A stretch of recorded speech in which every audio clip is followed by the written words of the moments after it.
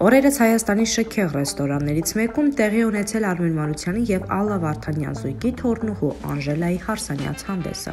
Զույգը պսակադրվել է խոր վիրապ վանական համալիրում, ապա ուրախ մտնոլորտում նշել իրենց նյութությունը։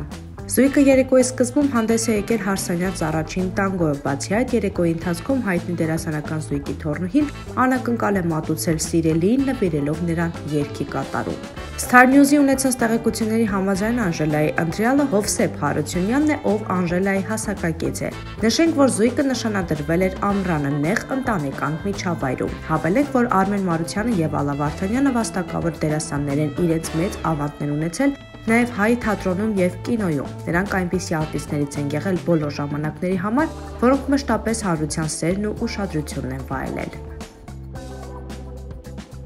Բաժանորդագրվեք մեր ալիքին սեղ մեկ զանգակի վրա, որpիսի առաջինը դուք տեղեկացված լինեք վերջին եւ ամենաթեժ լուրերից։